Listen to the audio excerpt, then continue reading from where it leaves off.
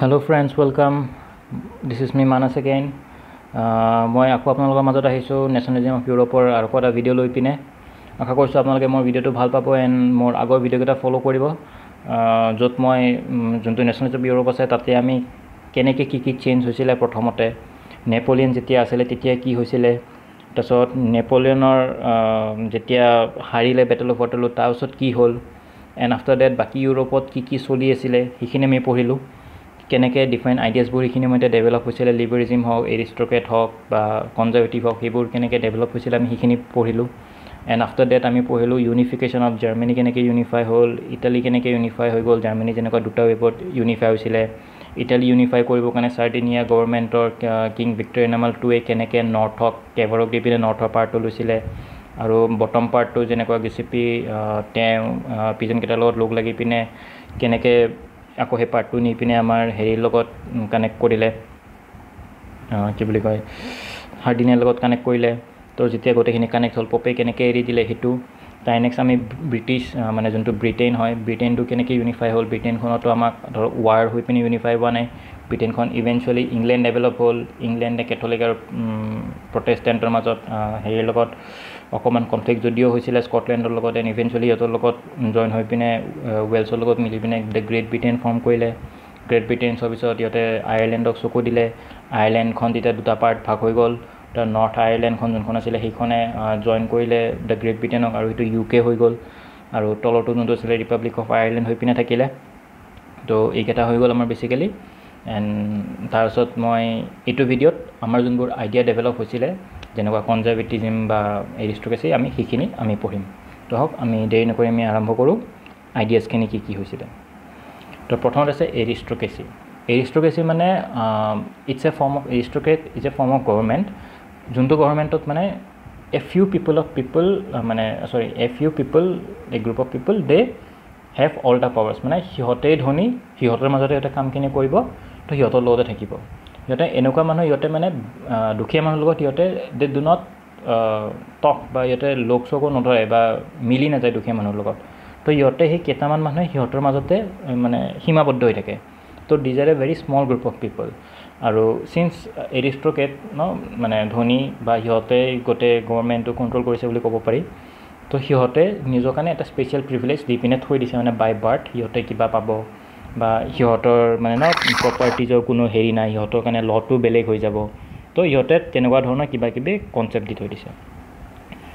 এৰিষ্ট্ৰকেচিৰ পিছত আহিলে আমাৰ কোন? লিবাৰেলিজিম লিবাৰেলিজিমটো আমাৰ কেতিয়া আহিছিলে যেতিয়া the middle class of people যেতিয়া ইণ্ডাষ্ট্ৰি ডেভেলপ হৈ পিনে ইণ্ডাষ্ট্ৰিয়েলিষ্ট বা বিজনেছমেনখিনি ডেভেলপ হৈছিলে তেওঁলোকে নেশ্যনেলাইজ কৰিবৰ কাৰণে এই লিবাৰেলিজিম ফিলিংটো লৈছিলে। লিবাৰেলিজিম ফিলিংটোত আমাৰ বেচিকেলি কি হয় দে থিংক মানে সিহঁতে বিচাৰে যে যোনটো হেৰি আছে কি বুলি ক'ম ফ্ৰীডম মানে এটা মানুহে তাৰ কামটো কৰিবৰ কাৰণে they should have their freedom and plus they should also' be equal in the eye of law কামটো কৰিব লগা ফ্ৰীডম মানে ছাপ'জ সিহঁতে ট্ৰেড কৰিব বিচাৰিছে বাট জাষ্ট বিকজ অফ কিছুমান ফেক্টৰ্ছ যেনেকুৱা ধৰক তাতে টেক্স বেছি আছে সিহঁতে ফ্ৰীলি কাম কৰিব নোৱাৰে বা ইয়াৰে মানুহ তাইলৈকে যাব নোৱাৰে বা মানে ন মাৰ্চেণ্টবোৰক লগ কৰিব নিদিয়ে। তো সেইবোৰ যোনবোৰ পলিচি আছিলে সেইবোৰৰ এগেইনষ্টে মানে সিহঁতে কৈছিলে যে সেইবোৰ বন্ধ হ'ব লাগে they should be free and they should be equal in the eye of law equal in the eye of law মানে কি মই যে কৈছিলোঁ এৰিষ্ট্ৰকেটৰ কাৰণে লটো বেলেগ আছিলে সিহঁতৰ কাৰণে লটো বেলেগ আছে। যদি ছাপ'জ মই তোমাক কৈছোঁ যে যদি এৰিষ্ট্ৰকেটিভ মানুহবোৰে যদি এটা মুৰ্গী মাৰে সিহঁতৰ একো নহয়। কিন্তু এট দ্য ছেইম টাইম যদি মিডিল ক্লাছ বা লৱাৰ ক্লাছৰ মানুহ যদি এটা মুৰ্গী মাৰে then they could have jail মানে। তো সিহঁতে কৈছিলে যে সেইটো হ'ব নালাগে। Everybody should be equal in the eye of law life is precious for everyone সিহঁতে সেইটো কথা কৈছিলে। তাই নেক্সট কি কৰিছিলে? সিহঁতে বিচাৰিছিলে যে যোনটো গভৰ্ণমেণ্ট হয় সেইটো ৰিপ্ৰেজেণ্টেটিভ ফৰ্ম অফ গভৰ্ণমেণ্ট হয়। মানে মানুহে ডিচাইড কৰক যে কোনে ৰুল কৰিব। যিমান মানুহ চবে ভোটিং কৰক। ভোটিং কৰি পিনে ডিচাইড কৰক যে কোনে ৰুল কৰিব। So' that was one of their demand সিহঁতে কনষ্টিটিউশ্যন ফৰ্ম কৰাৰো ডিমাণ্ড কৰিছিলে। Plus they were opposing the এৰিষ্ট্ৰকেচিয়ান clerical privilege যোনখিনি সিহঁতে প্ৰিভিলেজ পাইছিলে যেনেকুৱা বাই বাৰ্থ সিহঁতে ভাল স্কুলতে যাব বাই বাৰ্থ সিহঁতে চাকৰিটো পাবই বা ক্লেৰিকেল যোনে ধৰা এই চাৰ্চ টাৰ্চৰ লগত যোনবোৰ কানেক্টেড আছে মানে এৰিষ্ট্ৰকেচিৰ মানুহবোৰৰ লগত যোনবোৰ কানেক্টেড আছে সিহঁতেও সেনেকৈ কিছুমান প্ৰিভিলেজ পায় তো সেইবোৰ প্ৰিভিলেজ সিহঁতে বন্ধ কৰা ট্ৰাই কৰিছে। And the one more thing they demanded was the right to have a private property আগতে কি হৈছিলে যেতিয়া ছাপ'জ মানুহ এজনে বহুত ভাল ঘৰ এটা বনালে দেন এটা কোনোবা এষ্ট্ৰকেট বা এজন ৰজাই গৈ আছে গৈ পিনে তেওঁ দেখিলে যে ঘৰটো ভাল হৈছে। তো ৰজাই ক'ব এইটো ঘৰ আজিৰ পৰা মোৰ। এণ্ড যোনে ঘৰটো বনালে তেওঁ তাতে একো ৰাইটছ নাই মানে। তেওঁ এতিয়া একো কৰিব নোৱাৰা হৈ যাব। চ' ডেটছ এ প্ৰব্লেম মানে সেইটো সিহঁতৰ সময় তো সিহঁতে কি কৰিছে যে আমাৰ যোনটো নিজৰ প্ৰাইভেট প্ৰপাৰ্টি সেই প্ৰাইভেট প্ৰপাৰ্টি সদায় আমাৰে থাকিব লাগিব।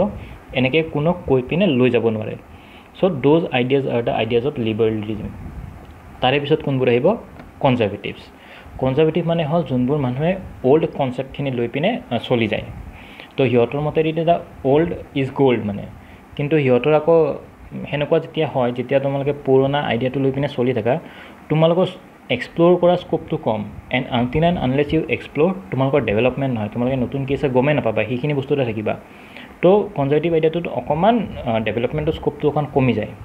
সিহঁতে বেচিকেলি যোনখিনি ট্ৰেডিশ্যনেল ইনষ্টিটিউট থাকে যেনেকুৱা চাৰ্চ মন্দিৰ তো তেনেকুৱা ধৰণৰ বস্তু সিহঁতে হেৰি কৰে। আৰু সিহঁতে কি বিচাৰে যে যিমানখিনি মেইন পাৱাৰ আছে সেইখিনি সিহঁতৰ লগতে থাকক মানে। দিছ দিছ ৱাজ দিয়ে মানে one of the main concern thing of the conservatives যে সিহঁতে বিচাৰে যে সিহঁতৰ পাৱাৰখিনি সিহঁতৰ লগতে থাকক।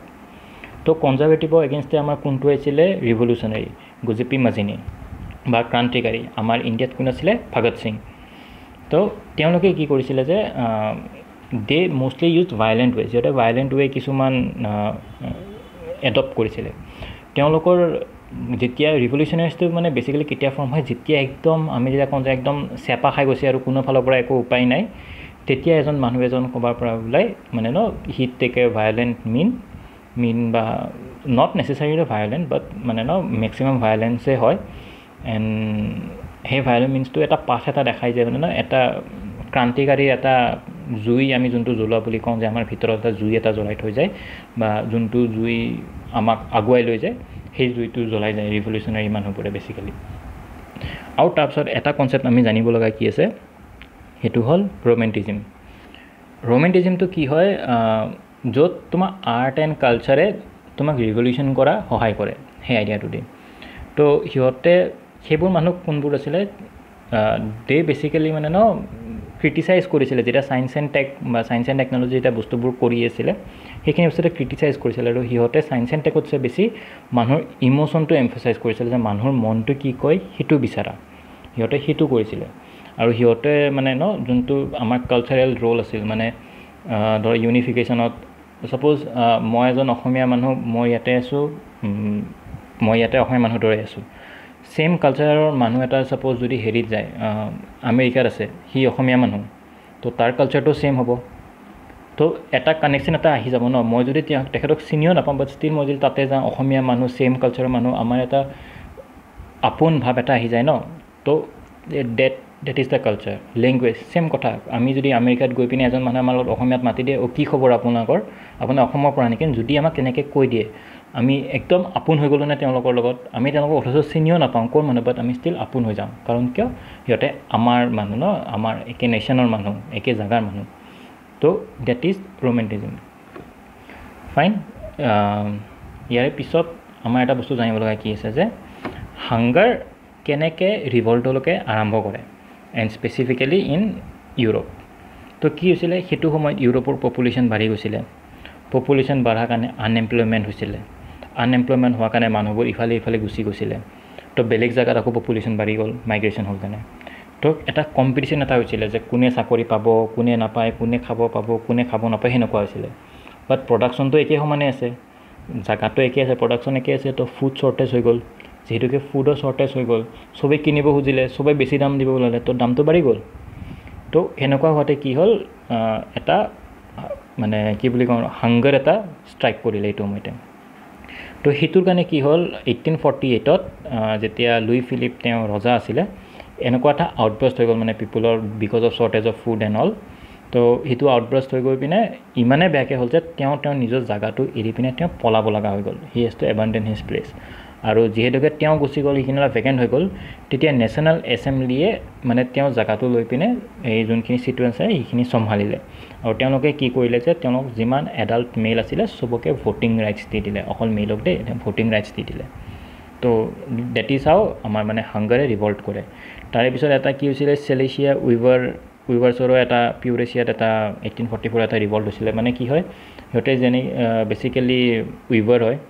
তো সিহঁতৰ মানে মাৰ্চেণ্টবোৰে সিহঁতৰ তাতে গৈ পিনে কাপোৰ কানি চিলাব দিয়ে।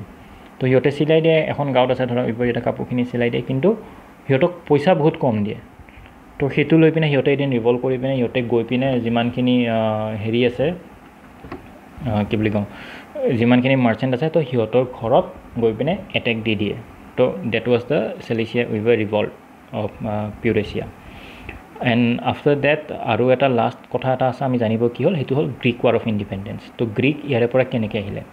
তো এতিয়া কি হৈছে গ্ৰীক এখন এনেকুৱা জেগা আছিলে যোনটোৰ নৰ্থত আছিলে ইউৰোপ ছাউথত আছিলে এছিয়া তো নৰ্থত Europe is Christian dominated people and ছাউথত আছিলে ইছলাম ডমিনেটেড পিপল তো অভিয়াছলি গ্ৰীকক লৈ পিনে চবৰে কনফ্লিক্ট হয় ইউৰোপে মানে ইউৰোপিয়ান মানুহে কয় এইটো আমাৰ আৰু আমাৰ এছিয়ান মানুহবোৰে কয় এইটো আমাৰ। তো Greek was under Ottoman empire and ন সিহঁতৰ প্ৰথমতেতো বাৰু Greece was in under European empire but Ottoman এম্পায়াৰে সিহঁতক কেপচাৰ কৰি লৈছে। Ottoman empire was a powerful empire that মমেণ্টত তেওঁলোকে কেপচাৰ কৰি ল'লে। তো যেতিয়া কেপচাৰ কৰি ল'লে সেইখিনি সময়তে আমাৰ এটা পইণ্ট এজন আছিলে জানাজাত লৰ্ড বেৰন বুলি। তো তেওঁ কি কৰিছিলে তেওঁ সেই অট'মান এম্পায়াৰৰ লগত ফাইট কৰিছিলে and he lost his life during that fight মানে।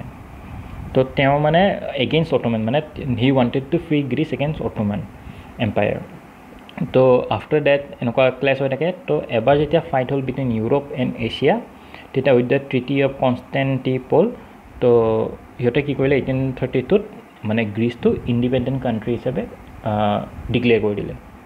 চ' তেতিয়া ডিক্লেয়াৰ কৰি দিলে। এইটো ডিফাৰেণ্ট ডিফাৰেণ্ট পাৰ্টছত বাৰু গ্ৰীচটো ভাঙি গ'ল কিন্তু ষ্টিল মানুহবোৰৰ চকু গ্ৰীচত আছিল কিয়? Because it was near the sea region মানে। তো সিহঁতৰ কাৰণে হেৰি ভাল হৈ যায়। যোনটো পৰ্টিং ছিষ্টেম থাকে মানে ন জাহাজ দি বস্তু অনা নিয়া কৰা সেইটো ভাল হৈ যায়। So' people still eyed on the Greece তো ফাইন উইথ দিছ আমি আমাৰ লেকচাৰটো শেষ কৰিলোঁ and chapter of nationalism of ইউৰোপটো শেষ কৰিলোঁ। আশা কৰিলোঁ আপোনালোকে মই চাৰিটা ভিডিঅ' চাইছে মই যিমান পাৰোঁ চমুকৈ ক'ব চাইছোঁ। প্লাছ মই আপোনালোক এটা কথা নিশ্চয় ক'ম যে আপোনালোকে গোটেই চেপ্টাৰটো এই ভিডিঅ'কেইটা শুনি পিনে আপোনালোকে চেপ্টাৰটো এবাৰ পঢ়িব আৰু যিমানখিনি ডাটা আছে ধৰক ইম্পৰ্টেণ্ট ডাটাছ সেইখিনি আপোনালোকে ল'ব মানুহৰ নাম হওক বা ইভেণ্টছ কিছুমান যোনবোৰ আছে ইম্পৰ্টেণ্ট ইম্পৰ্টেণ্ট সৰু সুৰা তো সেইখিনি আপোনালোকে ল'ব। মই যিমানখিনি পাৰোঁ আপোনালোকক কভাৰ কৰি দিছোঁ আপোনালোকৰ কাৰণে সহায় কৰি দিছোঁ। মোৰ মেইন মটিভটো আছিলে আপোনালোকক কাহিনীখিনি বুজাই দিয়া আৰু কেনেকৈ কি আহিলে। আই হোপ আপোনালোকৰ এইটো অকণমান সহায় কৰিব। তো ইট ইজ মই এইবাৰ এইটো চেপ্টাৰ ৰাখিলোঁ। থেংক ইউ গাইজ জয় অসম।